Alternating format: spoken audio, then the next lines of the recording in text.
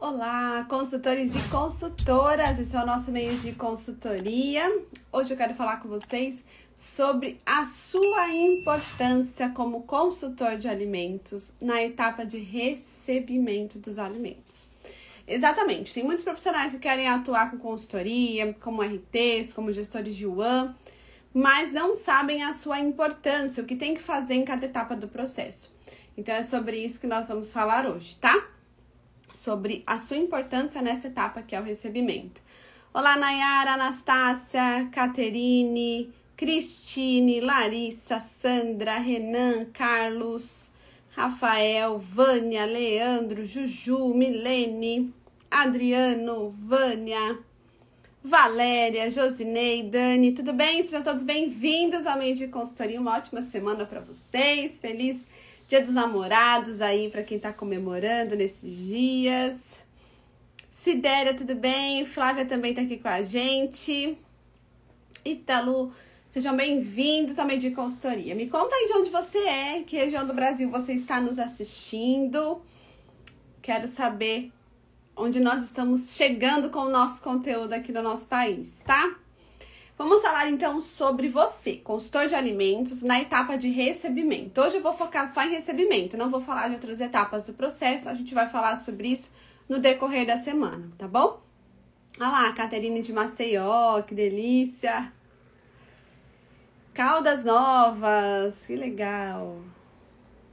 Vamos me falando aí, quero saber de onde vocês são, tá? O recebimento de alimentos, gente, é uma etapa extremamente importante é a primeira etapa em que o estabelecimento tem de fato contato com o alimento. A etapa anterior a essa é as compras, né? São as compras. E nesse momento a gente está ali negociando com o fornecedor, não é você consultor que vai fazer isso, é o dono ou o gerente, né? E aí o estabelecimento vai receber então esse alimento, né? O fornecedor vai mandar o entregador, né? Com o seu caminhão entregar o produto, que pode ser estoque seco, estoque refrigerado, congelado, então desde carnes, laticínios, grãos, enlatados, enfim, até embalagens e produtos de limpeza também são recebidos no estabelecimento.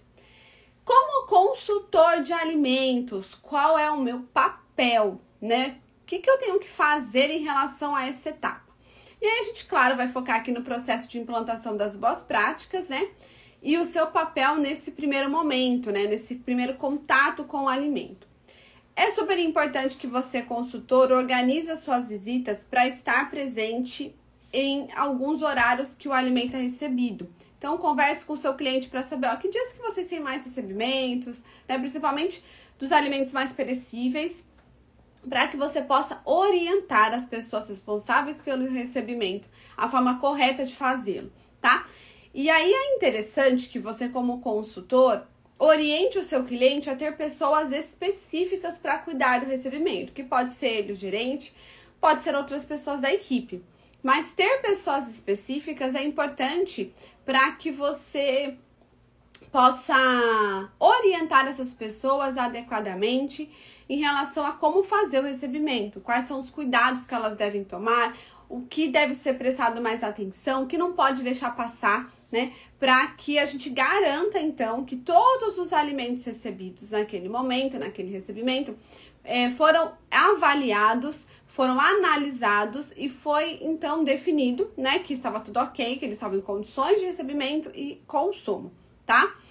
E quais são as, a, os critérios, os cuidados que nós temos que tomar nesse recebimento, tá?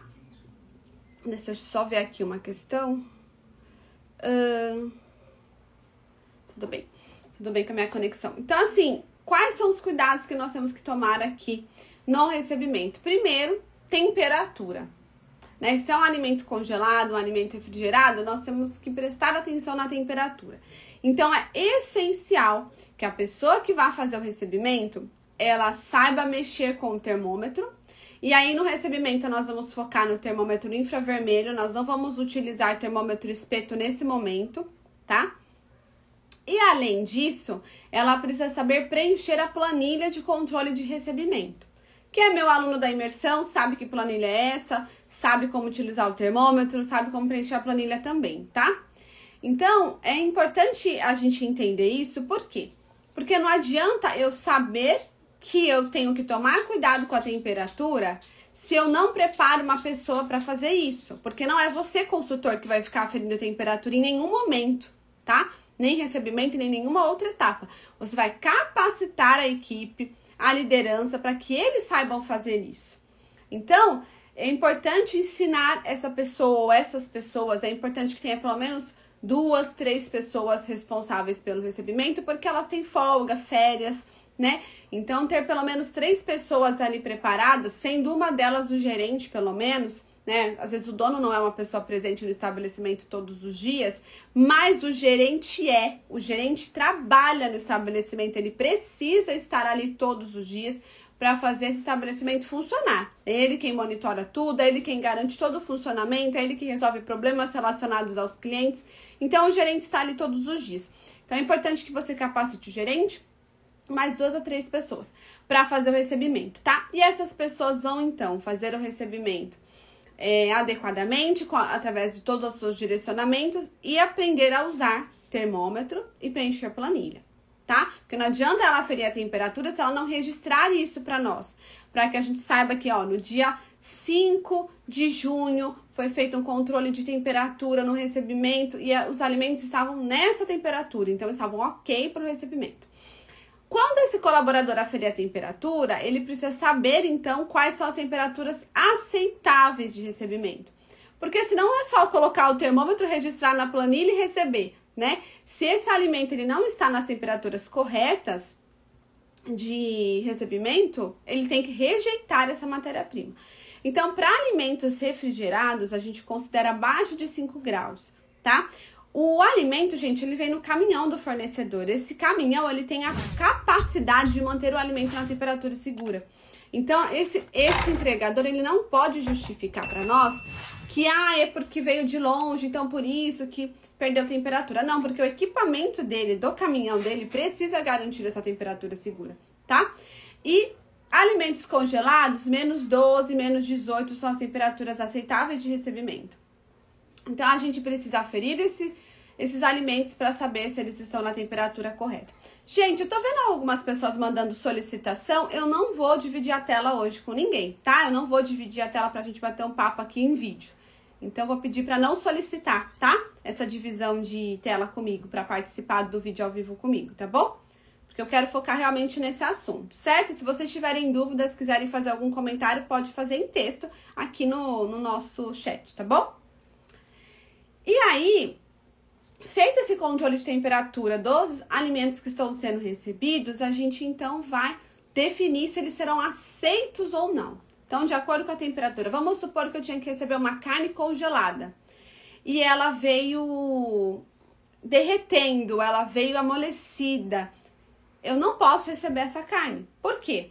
Porque ela já estava congelada, ela descongelou e eu não posso recongelar esse produto porque ele já perdeu qualidade, ele já teve contato com uma temperatura de risco, já pode ter acontecido crescimento microbiano. Então eu não posso receber esse alimento. Mas eu preciso orientar esse colaborador, dar exemplos para ele, para que ele saiba quando aceitar e quando rejeitar um, uma, um, um produto, tá?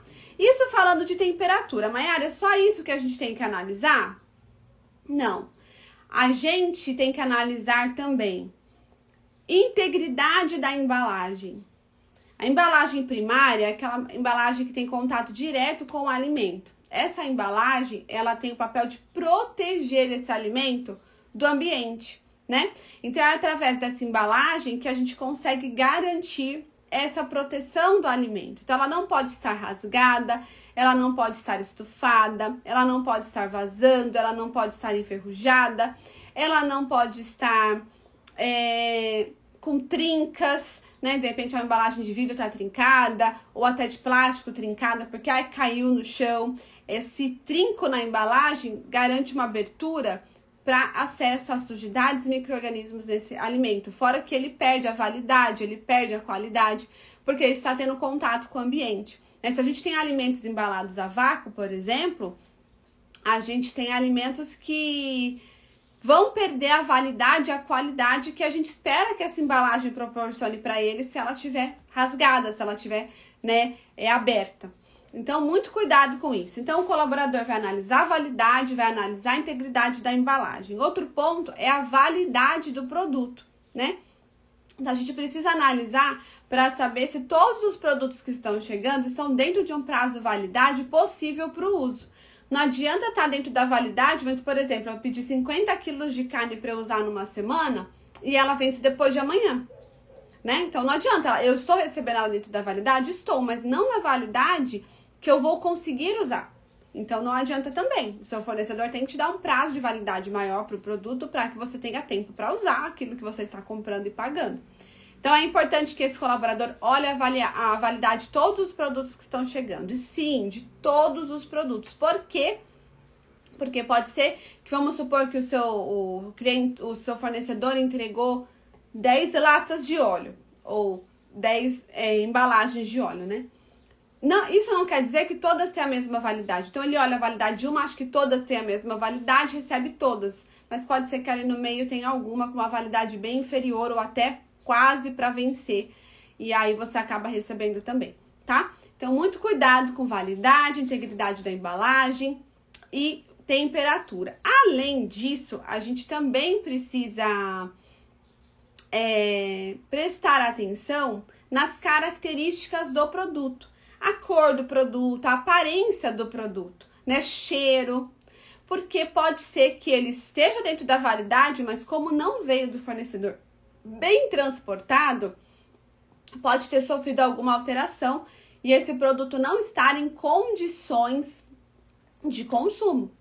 Então, característica do produto, integridade da embalagem, validade e temperatura são quatro pontos essenciais que nós precisamos monitorar no recebimento.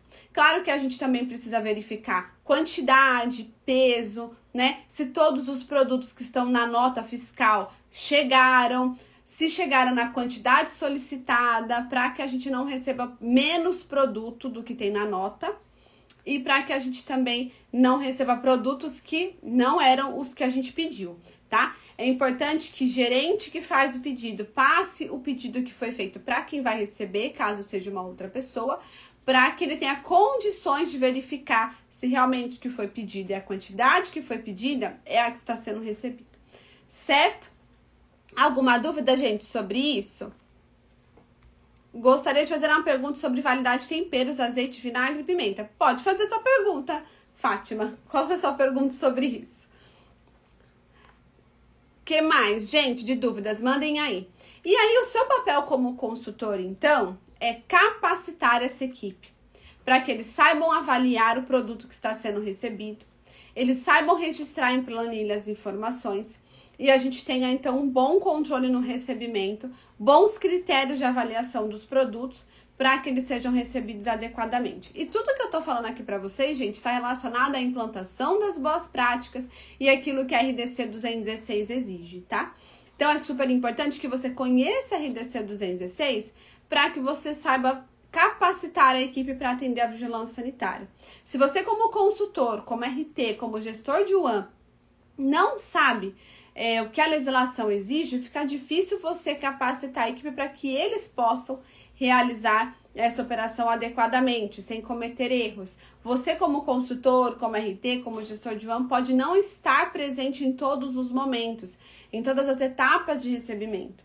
E aí você não deixou uma pessoa preparada para fazer isso.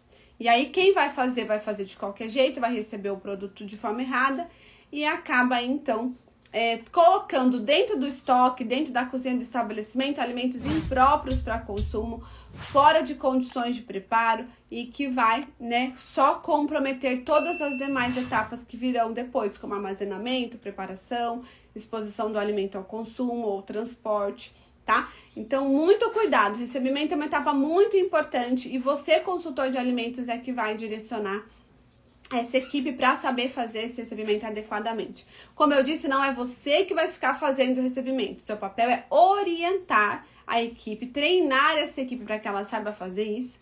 E o seu papel também é monitorar, supervisionar essa equipe para saber se realmente está tudo sendo feito adequadamente. Então, ensine e depois acompanhe essa operação. E além disso, verifique se as planilhas estão sendo preenchidas adequadamente também, tá? Boa tarde, Ana, seja bem-vinda. Mais alguma dúvida, gente, que eu possa ajudar vocês sobre o recebimento? Se você deseja entender mais sobre boas práticas, se você deseja entender mais sobre legislação sanitária, sobre quais são as exigências da fiscalização para o seu cliente de consultoria ou de responsabilidade técnica, eu te convido a fazer parte do curso RDC 216, que é o meu curso completo da legislação sanitária, que vai te, te ajudar a analisar a legislação parágrafo por parágrafo, para que você entenda cada ponto da legislação, você saiba interpretar a legislação e aplicar a legislação no seu dia a dia profissional. Se você está atuando no MUAN, você precisa ter esse conhecimento para saber supervisionar a equipe, capacitar a equipe, elaborar as documentações, realizar as adequações.